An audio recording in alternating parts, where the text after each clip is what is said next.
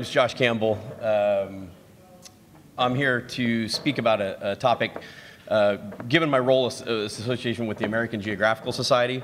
Um, I've been associated with OpenStreetMap for um, several years. Previously was at State Department and helped do imagery to the crowd and the MapGive project, which uh, helped feed out satellite imagery to uh, the humanitarian open mapping community.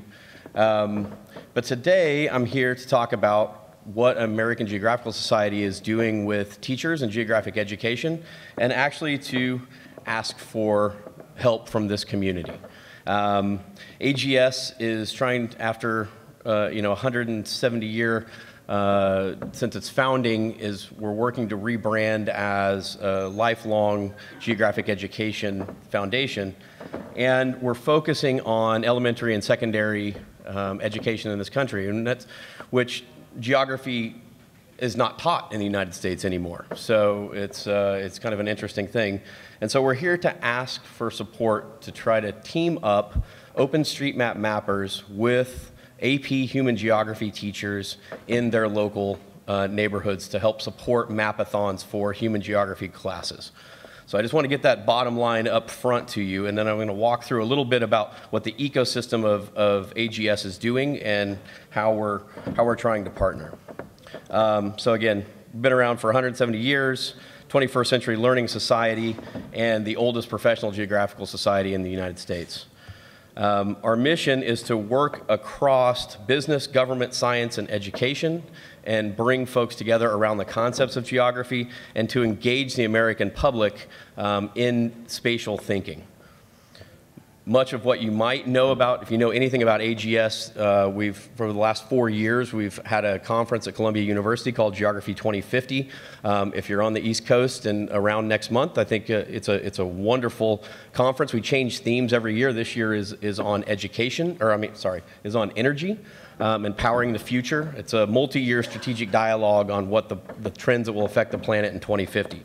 Why I mention that is because in conjunction with, um, with 2050, uh, we have brought in uh, a series of AP Human Geography teachers that, as part of our Geography Fellows uh, Geography Teaching Fellows program.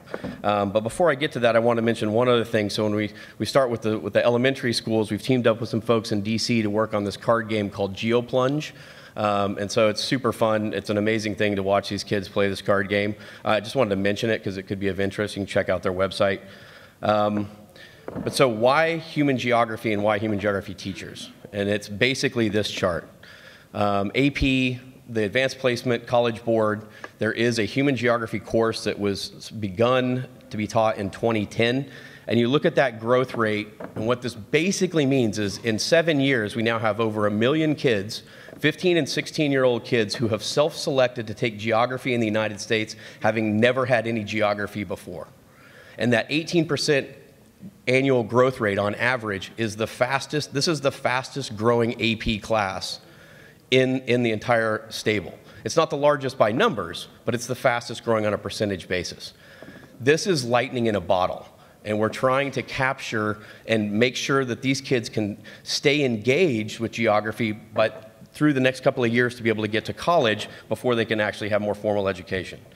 So this is a picture from Geography 2050 of the last cohort of the 50 uh, AP Human Geography teachers uh, with my former boss, the, the GOTUS, the geographer of the United States. Um, and so we've begun to more formalize this, this initiative.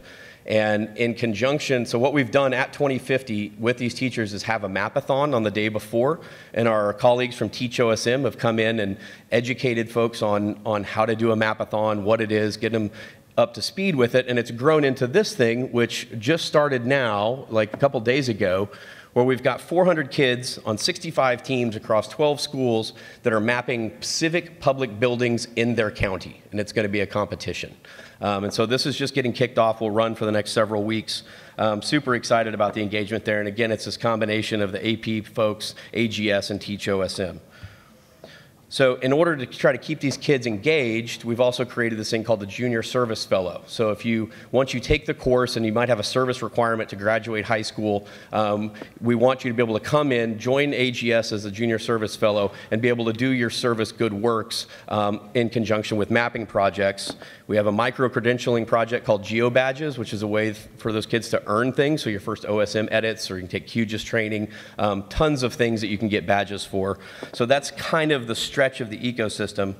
Um, and then we've relaunched our secondary. We have an academic journal called the Geographical Review, and we have another more kind of think of it more like the National Geographic is called Focus on Geography. We've rebranded that all digital, and this is a way to try to deliver content and graphics and maps to teachers, like curriculum that they could wrap the mapathons around.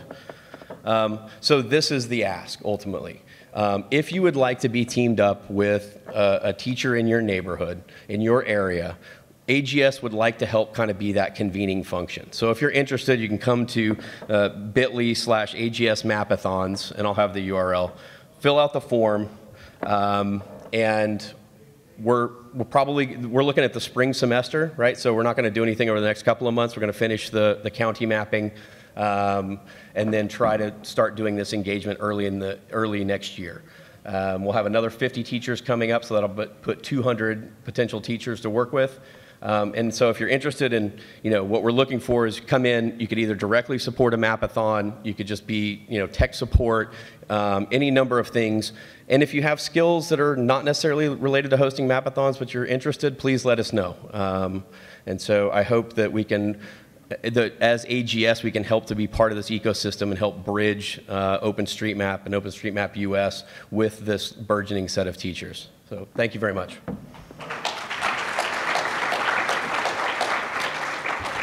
Thanks, man. Appreciate it.